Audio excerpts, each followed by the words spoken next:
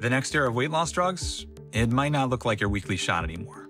Drug makers are seeking approval for once a day weight loss pills and developing next generation injectables as part of a wave of new treatments that is moving through clinical trials. These drugs could be even more potent, have fewer side effects, or even be taken less often the next generation molecules for weight management what sets them apart is is one being oral oral medications in general they're easier to deliver distribute they don't require refrigeration. They don't require auto injector devices or multi dose injector pens. Experts say easier delivery could dramatically expand access, what one researcher compares to a Henry Ford moment. What Henry Ford did with the car wasn't to make a better car.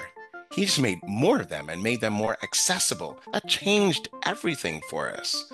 With this, the newer generation of medications, we're not focusing on just weight loss we're talking about changes beyond what you see on the scale. Inflammation goes down, your joints get better, your liver gets better, all these things change. Many of these next generation drugs are still in clinical trials, so things like how much they cost and what the side effects will look like aren't yet fully known.